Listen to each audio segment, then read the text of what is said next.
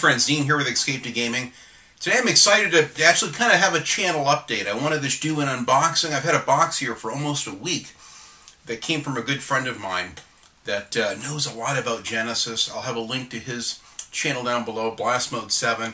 Very knowledgeable about Genesis stuff. Really good at collecting things and, and presenting you know his collection well by you know finding labels and, and creating boxes for games that are loose carts or what have you. But anyway, he sent me a PM and said, Dean, I've got some extra Genesis games. I know you're trying to get your Genesis collection up and running. Would you be interested in some of them? And he sent me a really nice picture. He said, you know, go ahead and choose from the picks and let me know what you'd like. So I went through, and these are the games that he sent me. And then he surprised me with a few additional things as well. I'll quickly get into this. Thanks, Clinton, by the way. I really appreciate this. Sent a nice little note, too, with it, which is nice. Uh, some personal things in here, but but really, uh, you know, just a great guy. I really enjoy his channel and everything he does in the Genesis. He sent me um, this one. He sent me, which I didn't ask for, but it was kind of a little bonus called Columns for the Genesis. It looks really cool. Probably some kind of an interesting puzzle game or arcade style game, but I'm anxious to check that out. These are games that I actually like. He's um, the Jungle Book from Walt Disney, which I loved as a kid. I went to the theater and saw this back in the 60s. Those are kind of dates how old I am. Uh, Nigel Mansell's World Championship Racing. This one I'm actually very excited to play. I never played this one. I think I played Pole Position and a couple other uh, F1 games that were on the uh, Super NES, but I never played this. I'm excited to play this. This actually looks interesting. Caesar's Palace, which is when I go to Vegas, that's where I always stay, is Caesar's Palace. It's a little dated now, but I still love the place. And I'm not a real big gambler, but I'll go and watch my friend blow $50,000 there. He used to call me up and then he'd fly me to Vegas. Hey, I'm up, I'm up, you know, 10 grand. i will pick you up at LAX. It's on me. Come to Vegas. We'll have a great time. I'd spend days in Vegas and watch him lose tens of thousands of dollars. So now I can pretend the same thing but I don't risk anything, and I can play it on the Genesis.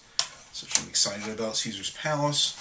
And last but not least, Batman Forever. I know this has mixed reviews, but I really like the graphics in this, and I'm anxious to play this, um, and as well as looking for some of the other Batman games from Sunsoft that I'm very in interested in. Um, he also has two games that came fully boxed. This is one of the games he had that he wanted to get rid of, and I really picked up on this. I saw Mark Bussler do a review of this quite a while ago. 688 attack sub for the Genesis. This looks really cool, and it comes complete with a nice box. It's got the really thick manual with quite a bit of information. It's kind of an interesting strategy game. Kind of reminds me of the old Silent Service game that was on the C64. I see Vinnie's already down there near my tripod, waiting to pounce on it. Don't bump my tripod, bud. And then the wonderful game Strider. This was a real bonus. Uh, he actually he knew that I wanted this game. He goes, "Look, I have an extra copy of, of Strider. I'm going to send it to you as well." You know, and I, I paid him for the games. I didn't expect all this extra stuff, and it's complete. It even has the booklet and the game, the original cartridge. I'm very stoked about this. Very anxious to play this. I've always wanted to dive into this. I played this at a friend's house, God, a thousand years ago, and I really enjoyed it. So I've been looking forward to kind of getting back into it. And if that's not enough, he saw the other video I did where my friend Gary from Oklahoma sent me tons of Genesis games, and he picked up on that. And he goes, Dean, I also sent you a bunch of labels. So once you get your own boxes, you can, you know, put those other games and put them in the label. So I have this uh, Sonic Spinball, you know, label, which is really nice. I have Mrs. Pac-Man, which is one of the games that my friend Gary gave me, which I when I love Mrs. Pac-Man. I'm a huge fan back in the arcade days. And Aladdin, which is another game I really like. I love the graphics. I don't know if it's a good game or bad on the Genesis, but um, I'm anxious to play Aladdin. NBA Jam, a very another popular game on the Genesis. So it's nice that I have all these one beautiful condition labels. Mortal Kombat 2, I have Mortal Kombat 1 and 2 now on the Genesis. So I'm really excited about having that. And uh, Sonic the Hedgehog. This is one of the games I got from my good friend Gary as well. Sonic the Hedgehog and Sonic 2, which I also have from my good friend Gary. So it's great having all of these labels, even Caesar's Palace, which is awesome. So I can think of my buddy blowing 50K in Caesar's Palace. I think he's in prison, by the way. Last I looked at him on the internet, I think he got locked up.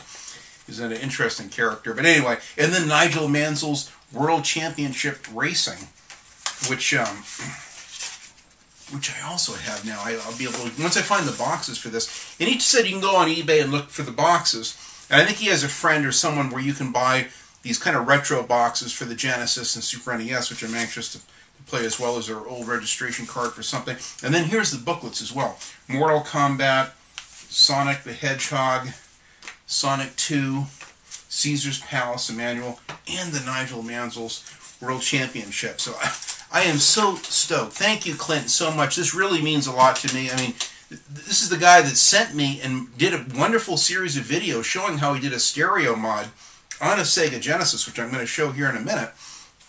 And then was nice enough to send me all of the stuff. You know, the, the guys with well, the you know YouTube is filled the YouTube community with some of the most wonderful people. I mean, it, it almost brings tears to my eyes when I think of how generous just in the last year, my channel has grown so much. I've met so many wonderful new people, like Clint, like my friend Gary, you know, like Dave at Lawn Boys Post 1975, and Steve Benway, and uh, all my other friends, uh, you know, Scott the console snob. I've got so many, I don't want to leave anyone out with a massive shout out, but there's, I'm just overwhelmed with the avalanche of just kindness and greatness that I've seen on YouTube. It really has meant so much to me.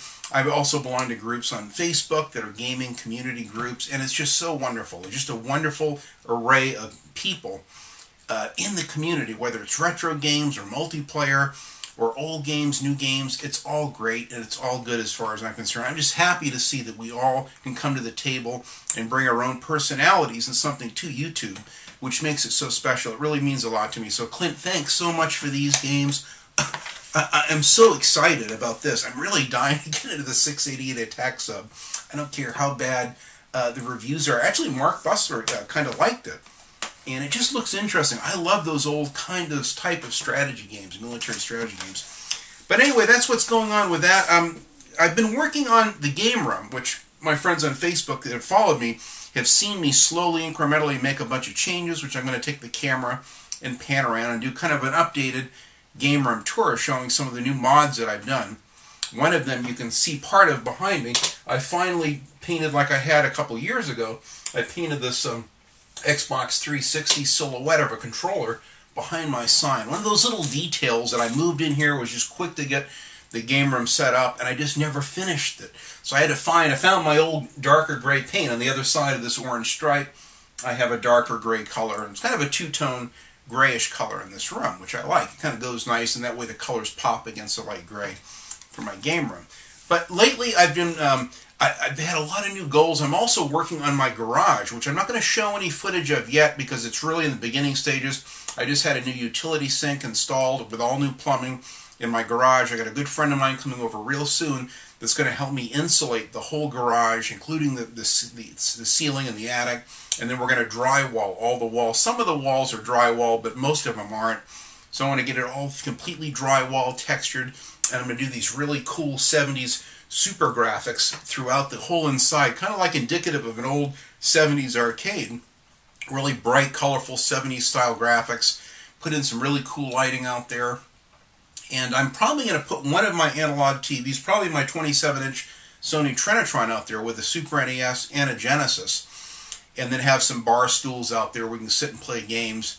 And then in the corner, I'm allocating one space for a full-size arcade cabinet. Probably Galaxian or Galaga, if possible. Maybe even Pac-Man. It's going to be probably expensive, but that'll be the icing on the cake. So this is a kind of a big work in progress. It's going to take me months to get this thing done and a lot of money, but I'm going to do the best I can. Be an extension of the game room.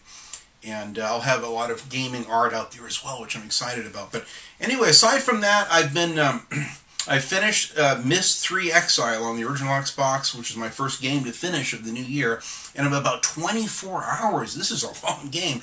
24 hours into Myst 4 Revelation, an incredibly gorgeous game, point and click adventure game. This is the nicest one I've seen. A lot more animations, a much more lively environment that feels more alive with butterflies and insects and birds and creatures and foliage and the sun moving around and creating shadows. Just gorgeous. A wonderful game. This game is tough. I'm not, I don't want to go on the internet and spoil. So, I mean, I'll invest hours, three, four hours trying to figure out some of the puzzles. But it's so damn good and so immersive. I, I wish we had more of these. I think there's another two Myst games that are on the PC only that came after. This is the last Myst game that I know of that's on a, a console, but I love this series and would highly recommend Myst 4 Exile. Uh, well, Myst 3 Exile is good too, but this Myst 4 Revelation is even better. If you like really tough, challenging puzzles. If you go on the internet and you, you spoil it for yourself, it becomes overly easy to kind of you know get through the game. So the whole idea is to kind of kill yourself getting through it. But after this, I also ordered two strategy guides that will coming in the mail probably today or tomorrow. I got a brand new uh, Fallout 3 Game of the Year Edition strategy guide, which I had before. I just started playing the game. My nephew came over and loved the game. After getting to the first city, he was like, "Oh, Uncle Dean, I love this. you know what? Here, take it, enjoy it, because he loves these kind of. He went through the whole game and did all five of the um, of the DLC expansion packs that are is, is, in this version, and I gave him the Game of the Year Edition strategy guide as well. So I, I that's his. So I said I'll just order a new one for myself. This is a game that uh, shamefully I haven't played, and I'm obsessed with playing it this year. My good friend Cameron from Industrial Gamer gave me for Christmas uh, Crysis 2 and 3, which I have up here on my shelf. And then he gave me a money card to download the wonderful initial, first Crysis, which has been remastered for consoles, which you can get off Xbox Live Arcade. So I just downloaded that off Xbox Live Arcade. I'm dying to start the first Crysis. I don't know whether I'm going to do it first or Fallout 3, but it'll be coming up soon, right after I'm done with this uh, Myst 4 Revelations. And then I also have coming, hopefully today or tomorrow, a strategy guide for Cold Fear, one of my favorite games. Believe it or not, I like this better than the Resident Evil series. I know that's probably sacrilegious to say that. I like the early Resident Evil 1 and 2, and I may be getting this Resident Evil HD remastered one downloaded off on the PS4, or I may even get a physical copy, like my friend Mikey did, of Mad Max 09's channel. And I'll have a link to his channel down below. Wonderful channel. He does, guy's he's been on a roll lately with some great gameplay videos. In fact, he's today, I just saw it just minutes ago, he's got one of Alien, um, the Alien trilogy.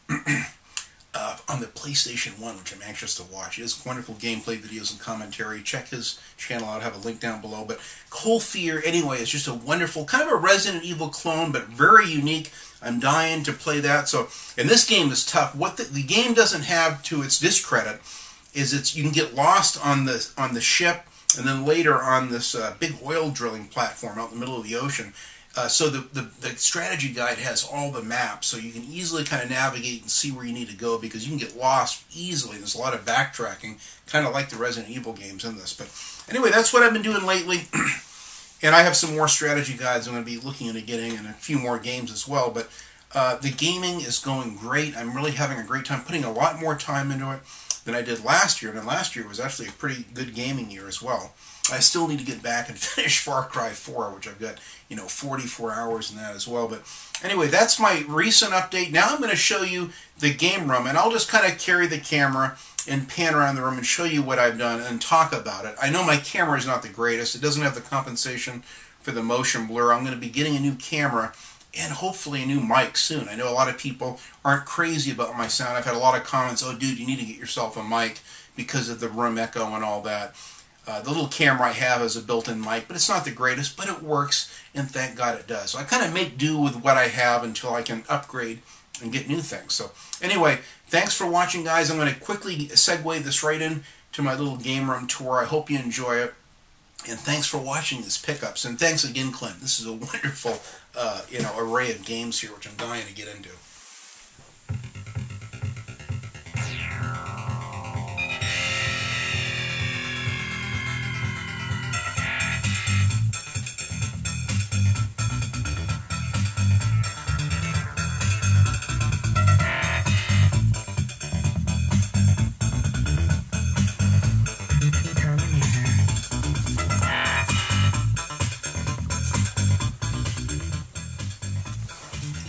Gotta turn the volume down there, but this is my uh, Sony 27-inch Sony Trinitron with built-in surround. It looks, it's a progressive scan TV. It looks great. And with this Genesis hooked up, I finally got to hook up this new stereo modded Genesis. And man, with this built-in surround this Sony TV has, it looks and plays incredible. I was playing this this morning, my RoboCop um, versus Terminator. It's fantastic. This is my bigger 32-inch Toshiba TV, which also has a gorgeous picture. But I like the surround sound in the Sony a little bit better. I may be putting the Sony out in the garage. But anyway, that's my latest um, my latest deal. I'm really happy with this TV. I also have a VCR, RCA VCR that's hooked up underneath for watching my old Mystery Science videotapes or anything else, which is pretty cool. So I'm excited to finally be able to play Super NES games in Sega Genesis games. I kind of wanted to hook a Super NES up to this, but I just realized I don't have any games for it yet. So anyway, what I'm going to do is show you what I've been doing with the game room. Um, I have a little beach chair. I don't have it in here now, but I have it under the bed. But uh, I can sit low to the ground, and I sit in here and play evenings, and it's so much fun. I just love playing, you know, these games like this old, you know, RoboCop versus Terminator is so cool and that my good friend Mikey uh, surprised me and got me this game uh, when he got me the other Genesis, which I have, which is over here. So this is the other Genesis, which I have on my bookshelf. I'll start up high. You've got um, I have a Far Cry 4, you know, special collector's box, a beautiful box. I don't know what the hell I'm going to do with it, but for the time being, it's up there. Pictures of my cats. I've got I've got a few games. My rare Twilight Zone uh, you know, DVD set, complete set I have up there. I got all my PS1 games here, which are awesome. Couple die-cast cars I have up here as well. And then I've got a bunch of Xbox games that are sandwiched um, on either side of my Max Payne 3 little statue. So, you know, I, I try to keep all my games in here. I got some, you know, I got all four seasons of Starsky and Hutch up here as well. More wonderful Xbox goodness in here and then I have all of my you know Xbox 360 games uh, on this shelf going behind my Genesis, and then my Miami Vice Ferraris, which I have there and there, including the Ferrari Daytona Spider convertible. Um, my good friend Steve in um, Canada sent me. Here's the Alien Colonial Marines statue, and then uh, behind that are more Xbox 360 games all the way across. Here's my collector's um, little uh, statue thing, bobblehead deal of uh, from the Twilight Zone. It was in my favorite Twilight Zone episode with William Shatner. There's a 69 Dodge Charger. It has a really cool Hemi under the hood, which is pretty cool. The hood, trunks, the doors open. Everything works on it. Here's another one of my working three uh, mint condition original Xboxes and my wonderful fat new PS2, which I absolutely love. I just love the looks of this thing. And then I have a couple pictures in here from uh, my special edition um, that I bought of the Arkham Origins game, uh, GTA 3, and another Arkham Origins thing. And I have all of my um, wonderful, uh, you know, Blu-ray collection, which I'm just now starting to put together. My Blu-rays, I have most of them here, and and I have my, you know, from the movie Bullitt with Steve McQueen. I got a little Steve McQueen guy, and next to a 68 Mustang. And then I also have the Assassins, which you can see both of them in there, uh, in their 68 ch Charger, which is also in the wonderful chase scene from Bullitt. So I have those. There's my UK Alien box set. Here's all my Genesis games I have so far, and you know, which I haven't added to these. The ones I just recently got. Uh, but this is what I have so far, which I'm really excited about. These are all my strategy guides on the bottom shelf down here, and I got a lot of them along with a few art books for gaming, including the Dark Horse, the art from The Last of Us at the end, and I've got some other, you know, Assassin's Creed 4 and Arkham Origins strategy books, hardbound books, and some other good books. So anyway, I've got all, you know, that's pretty much my shelving unit. I've showed this before in other video, but I've already maxed this out along with my little set. Now on my set, you know, I finally painted the full controller shape behind it. in gray, which it, which was meant to have. That's how I designed this logo originally, and it's nice to finally get it done. I don't know why the hell I didn't do it a long time ago. And I have my chair and a little table in front of it, and then my shelves as much as well as I've got you know the, the, my new uh, Far Cry 4 collector's edition um, little statue with all of the weapons and AKs and rocket launchers and machine guns and the whole deal and the villain of course and uh, this is a special larger version of the Batmobile my friend Steve from Canada sent me very detailed from the 1966 Batman I'm hoping to get that Batman Blu-ray set pretty soon. I love that. I've got a bunch of PS3 games here, and then some tall boxes for the PS1. Behind that, I've got um, the SOCOM Navy SEALs headset. They went for the PlayStation 2 game. There's my original Roadkill box from pre-ordering the game a million years ago. in October of 2003, I ordered that. I love that game and my uh, autograph Robert De Niro picture from when I worked in the studios. There's um, you know, my uh, this was a Christmas gift from my wife a few years ago. I think it was 2012. I got these uh, wonderful Miami Vice dolls, which I love. This Tubbs with this wonderful Mac 10, and then Crockett with the Beretta and a pack of Lucky Strikes like he used to smoke in the thing. here's some more, you know, um, PlayStation 1 goodness here, great games. And then at the bottom, I've got all the Grand Theft Auto Vice City CD soundtracks. All the stations. There's more PlayStation 3 games. My autographed uh, Mark Bussler from Classic Game Room sent me this wonderful Atari 2600 cartridge, which reminds me I got to get an Atari 2600, either a Vader one or a wood grain. I don't care. And then I've got some of my PlayStation 2 games here. Uh, I'm going to be getting more of those. I, don't I have a smaller collection right now, but I'm going to be expanding that soon and then my wonderful Star Trek uh, DVD box set. I love these, and they have HD DVDs on the flip side, and of course the wonderful Gremlin from the movie Gremlins. Down here, I've got uh, you know all my 15 or so uh, PlayStation 4 games, which I love. Uh, all of them can be played offline and single player, and they play and look wonderful on the PlayStation 4. Here's my PS1 with Arnie and the Duke himself uh, in front of it, and then more wonderful original Xbox games. There's a special definitive Sleeping Dogs deal, and uh, the Duke himself in the Balls of Steel edition. But if you pan up a little farther back, you can see that that's what usually what shows on my set, but I have quite a bit of room above it. So I went ahead and I have this really cool um, Star Wars picture I found. It has these little LED backlights where some of the laser blasts are and on the Death Star itself. I love this and was really thrilled to find this recently. It's actually like a canvas deal and it has like a little switch. You can turn it on and off. And then my good buddy, who's a wonderful, he was an actual airborne ranger in the U.S. military, and he's well as a fantastic artist uh, and a car guy like myself. He's a car automotive artist, and he did this wonderful uh, print. In fact, I have a couple prints. I have another one in color, which I'm going to be framing and putting it out in the garage.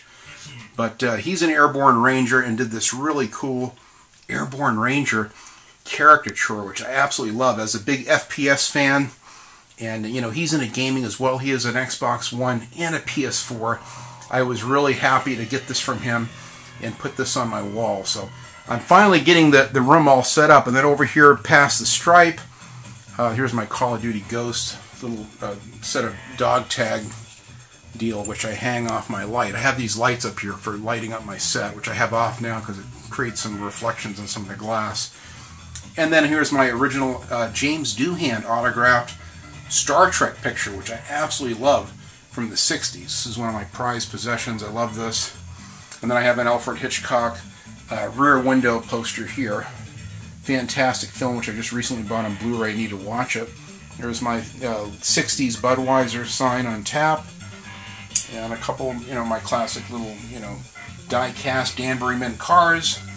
Yoda, of course, which you can ask uh, disturbing yes and no questions, and he answers with frightening accuracy.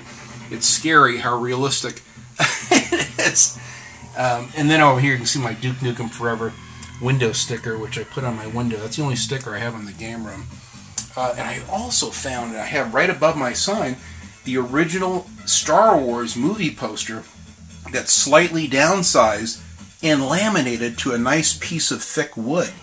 And it has a nice lamination on it. So I, I'm thrilled to find this. So now I have not one, but I've got two wonderful Star Trek, I'm, I'm, I'm sorry, Star Wars pictures from the original film, and still my favorite is the very first one, which I saw the opening week in 1977.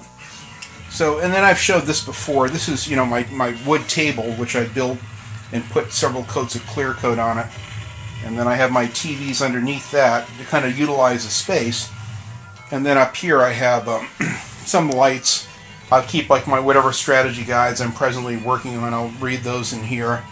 And of course here's Vinnie Corleone, which as many of you know is um, uh, the mascot of uh, Escape Gaming. He's the one that I named my YouTube channel after. Vinnie Corleone himself. Hi, bud. How you doing? he's so good. And he's got his little cat condo in here. He loves it in here. I got this Budweiser sign. Uh, from the I met George Barris in the late 80s. He gave me this uh, picture that was an actual movie production picture from uh, the film The Car from 1976 or 77 around there. And I've had that for years and have it framed up there. Now I, I needed more shelf space so I built these floating shelves up here and I put like I have my Lord of the Rings special edition uh, box set DVDs up here. I've got my Miami Vice uh, DVDs. I've got a 1950 Westinghouse radio, which actually works from 1950 up here, from the good old Leave It to Beaver days.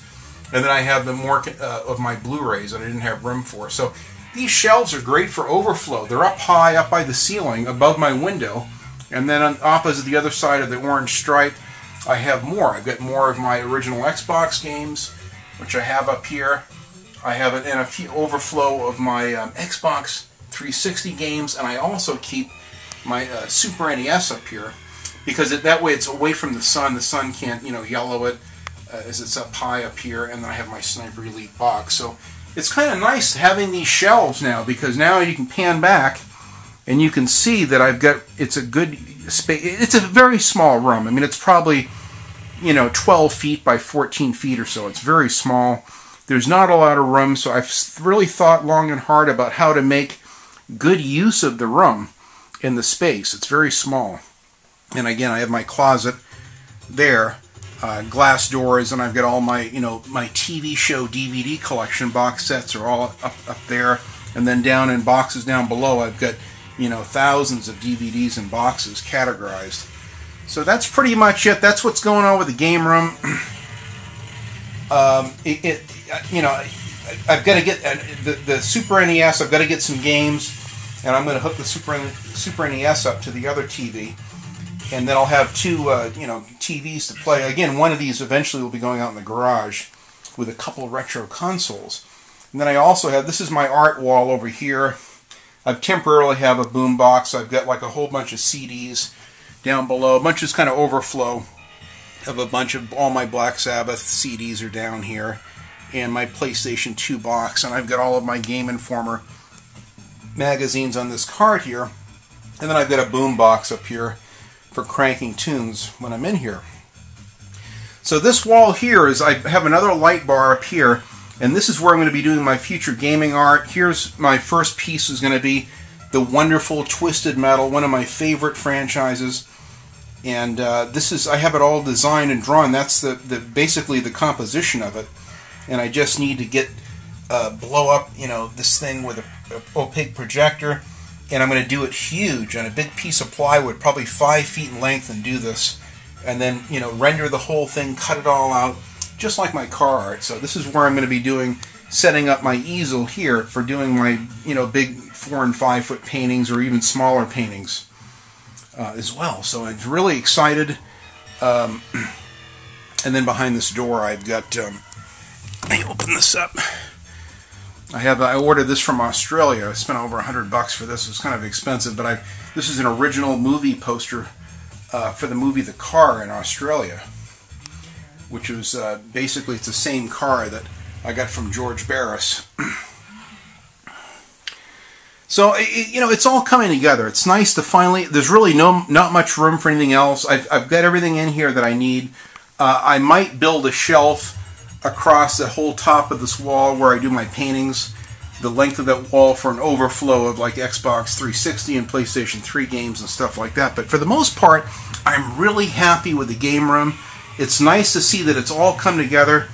It's great to finally have a little man cave to kind of crawl into uh, and get away from everything. Now, I play a lot of my modern games out there, but th- this room was designed for retro gaming and for doing my YouTube shows.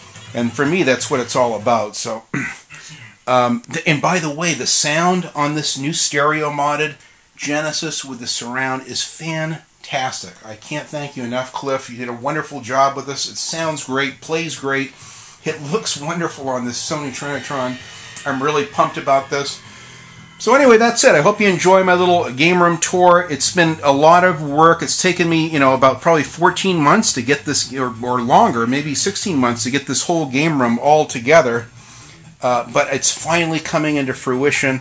It's really exciting to finally to see everything happening and getting done. And now I'm going to be focusing on the garage and setting up my arcade deal out there real soon, like I mentioned earlier. So uh, I hope you enjoy this uh, show, guys. I've been so inspired from picture, you know, videos of your game rooms and your pickup videos.